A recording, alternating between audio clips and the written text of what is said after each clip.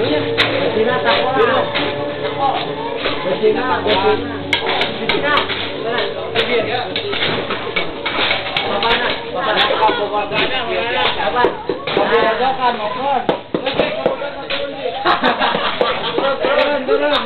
Ini bukan ahli rap.